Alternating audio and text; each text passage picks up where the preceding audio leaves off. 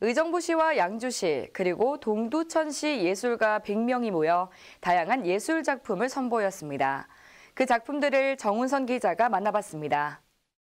지난 17일 의정부 문화재단은 창립 20주년 기념 경기 북부 예술작가 100인전 의양동 예술로 통하다 전시회를 성료했습니다. 의정부 예술의 전당에서 개최된 이번 전시회는 한국미술협회 의정부 지부가 주관해 의정부시, 양주시, 동두천시 예술가 100인 작품 100점이 전시됐습니다. 경기 북부 지역의 그 시민들을 위해서 예술인들이 어, 더 좋은 작품으로서 어, 예술인들과 어, 시민들이 한데 어우러지는 어, 그런 장을 만들려고 노력했습니다.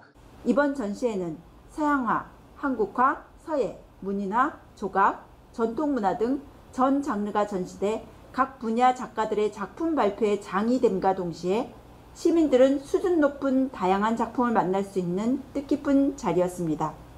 복지TV 경기방송 정선입니다.